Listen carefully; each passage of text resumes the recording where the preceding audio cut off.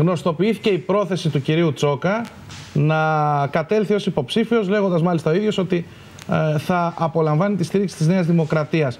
Ο Σταύρος Αρναουτάκης τι θα κάνει, δεδομένου Τι ότι θα απολαύσει; ναι, προκαιρού υπήρξαν ζυμώσεις που υποτίθεται ότι βγήκαν προς τα έξω μεταξύ του κυρίου Βενιζέλου και του κυρίου Σαμαρά για το πρόσωπό σας στην περιφέρεια. Τελικά, Δεν τι νομίζω θα ο γίνει; Ναουτάκης να Ε, αυτά ζητήσει. είναι Ή μήπω, ή μήπως, επιτρέψτε μου να ολοκληρώσω. Δημοσιογραφικές πληροφορίες. Επιτρέψτε Αυτά μου. είναι δημοσιογραφικές πληροφορίες. Ναι, Δεν ξέρουμε κανείς αν συναντήθηκαν ε, ο κύριος Σαμαράς με τον κύριο Βενιζέλο.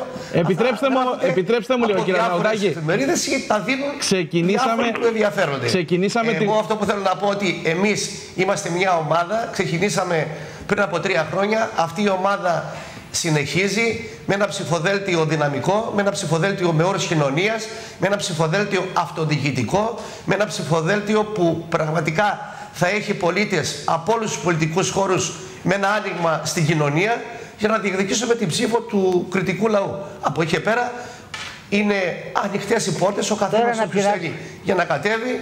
Είναι όλοι Πριν δώσω το λόγο- εκλεκτοί συμπολίτες μας, Ναι, πριν δώσω το εκλεκτά τελευταίο- στελέχη Είστε διαφόρων σαφείς. κομμάτων. Πριν από δώσω εκεί και το- πέρα πριν δεν δώσω έχει το κανείς τελευταίο λόγο για να μην στο κατέβουν οι υποψήφοι